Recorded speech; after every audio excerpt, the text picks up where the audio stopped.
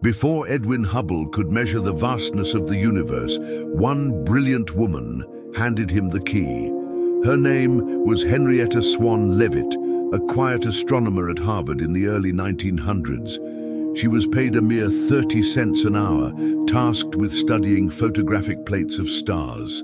But what she discovered on those simple glass plates would forever change how we see the cosmos.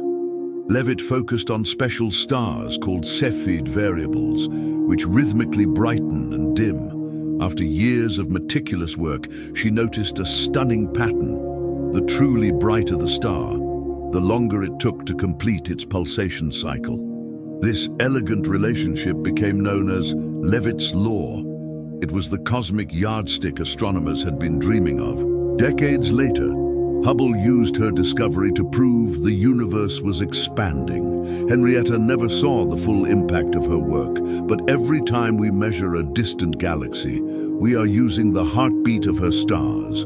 She didn't just count them, she taught us how to measure everything,